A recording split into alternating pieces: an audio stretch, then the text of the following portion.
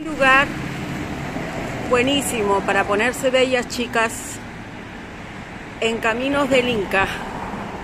¿Ven? Bueno, chicas y chicos, que tengan una linda noche.